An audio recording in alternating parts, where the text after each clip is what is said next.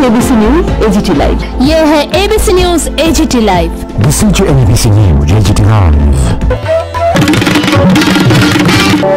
দশ হাজার তিনশো তেইশ জয়েন্ট মুভমেন্ট কমিটির শিক্ষকরা আগরতলা সিটি সেন্টার প্রাঙ্গণে আজ তেসরা ডিসেম্বর শুক্রবার দু হাজার একুশ ইংরেজিতে সাংবাদিক সম্মেলন করেন অর্ডারটাকেই রেখেছে অনারেবল চিফ জাস্টিস ছিলেন এবং এটাতে আরো সু- সুস্পষ্টভাবে বলে দিয়েছে যে সিঙ্গেল বেঞ্চের যে অর্ডারটা ছিল, সেটাকে অবজারভেশন দেখলে হবে না, এটা ডাইরেকশন ছিল করবে এই বিষয়টাকে কমপ্লাই করে।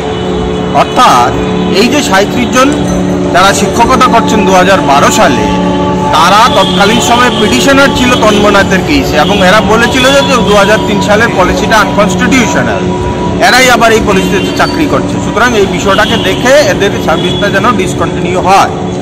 আপনাদের মাধ্যমে আমরা শিক্ষা দপ্তর তথা রাজ্যের মাননীয় শিক্ষামন্ত্রীর কাছে একটা আবেদন রাখতে চাই। অন্ততপক্ষে ত্রিপুরা হাইকোর্টের ডিভিশন বেঞ্চের এই অর্ডারটাকে আপনারা গুরুত্ব দিয়ে দেখুন।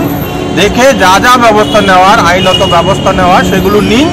অন্যথায় আমরা কন্টেম্পট অফ কোর্টের পিটিশনে যেতে বাধ্য হব। এই বিষয়টা নিয়েই আজকে মূলত ডাকা। আরেকটা বিষয় আমাদের আছে, সেটা আমাদের কমল দেব বলবেন। বিশেষ কারণে আপনাদেরকে ডাকানো। অসংখ্য ধন্যবাদ, আপনারা এসছেন। এই বিষয়টা নিয়ে একটা আইনি বিষয়। গত বছর দু হাজার কুড়ি সালে আমরা ত্রিপুরা হাইকোর্টের দ্বারস্থ হয়েছিলাম একটা বিষয় নিয়ে। যে আপনারা জানেন, তন্ময়নাথের কেসে যারা পিটিশনার ছিল, এদের মধ্যে কিছু সংখ্যক শিক্ষক দু হাজার কুড়ি সালে সরি দু হাজার বারো সালে বিজ্ঞান শিক্ষক হিসাবে চাকরি পেয়েছিল। এরা আমাদের বিরুদ্ধে কেস করেছিল এই বলে যে দু হাজার তিন সালের পলিসিটা unconstitutional.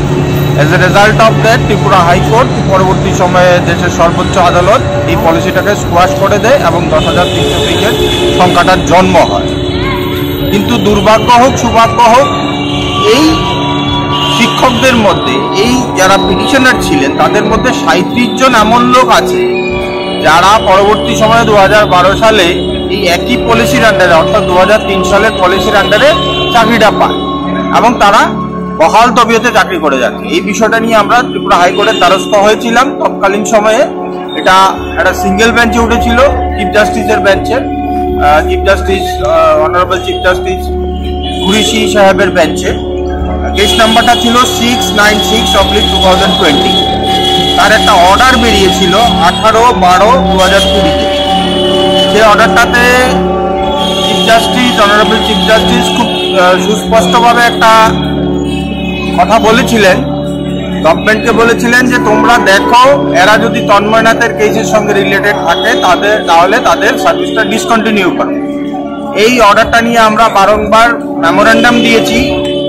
আমাদের ডাইরেক্টরিতে যে এদেরকে, এদের বিষয়টা দেখুন, দেখে এদেরকে ডিসকন্টিনিউ করার বিষয়। কিন্তু আমরা দেখলাম গভর্নমেন্ট এই বিষয়গুলোতে কোনো কর্ণপাত করেনি এবং পরবর্তী সময়ে সমস্ত দু হাজার বারো সালের শিক্ষকদেরকে রেগুলার করে দিয়েছে। এই বিষয়টা নিয়ে আমরা পরবর্তী সময়েই ডিভিশন বেঞ্চে যাই। ডিভিশন বেঞ্চ অর্থাৎ তৎকালীন সময়ে জাস্টিস সুভাষিস তলাপাত্রের বেঞ্চে কেসটা উঠেছিল ডিভিশন বেঞ্চে কিন্তু জাস্টিস সুভাষিস তলাপাত্র ওই কেসটা শুনেননি, যেহেতু উনি দশ হাজার তিনশো তেইশের তন্ময়নাথের কেসের সঙ্গে রিলেটেড ছিলেন। পরবর্তীতে এই নভেম্বর মাসে তিরিশ তারিখে ডিভিশন বেঞ্চে এই কেসটা আবার উঠে। এই নভেম্বর মাসে তিরিশ এগারো দু হাজার একুশে এই কেসটা আবার উঠে। কেস নাম্বার ছিল ডাব্লিউবিসি ফোরটি সিক্স অবলিক দু হাজার একুশ। ডিভিশন বেঞ্চও সেম জাজমেন্টেই রেখেছে সেম অর্ডারটাকেই রেখেছে অনারেবল চিফ জাস্টিস ছিলেন। এবং এটাতে আরও সুস- সুস্পষ্টভাবে বলে দিয়েছে যে শুভ সন্ধ্যা।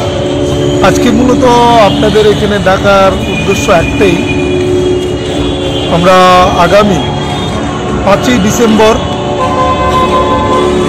রবিবার সকাল দশটায় আগরতলা মাতঙ্গিনী প্রীতিরেতা হলে আমরা একটা গুরুত্বপূর্ণ বর্ধিত সভা ডেকেছি। ওই সভায় রাজ্যের সমস্ত চাকরিচ্যুত শিক্ষকদের উপস্থিত থাকার জন্য আমরা আহ্বান রাখছি। কেননা আপনারা দেখেছেন, আমরা গত তিরিশ তারিখ আমরা আমাদের যিনি শিক্ষা অধিকর্তা আছেন মাননীয়া, ওনার কাছে আমরা কিছু কোয়ারি চেয়েছিলাম। উনি সদুত্তর দিতে পারেননি। আমরা ওনার কাছ থেকে আরও দশ দিনের সময় নিয়েছি। উনি আমাকে বলেছেন যে দশ দিনের মধ্যে উনি আমাদেরকে সদুত্তর দেবেন।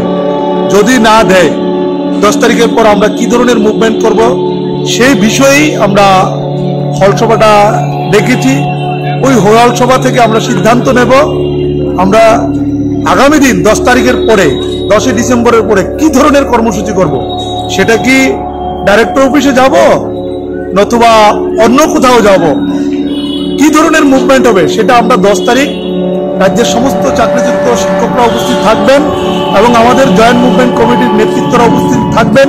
থেকে একটা কংক্রিট সিদ্ধান্ত নিয়ে আমরা তারপরে আপনাদেরকে সাংবাদিক সম্মেলন করে জানিয়ে দেব, দশ তারিখের পরে থেকে কি ধরনের আমরা কর্মসূচি ঘোষণা করব। তাই আজকের দিনে দাঁড়িয়ে আবারও আপনাদের মাধ্যমে রাজ্যের সমস্ত চাকরিযুক্ত শিক্ষকদের কাছে আবারও বিনয়ের সহিত আহ্বান রাখব।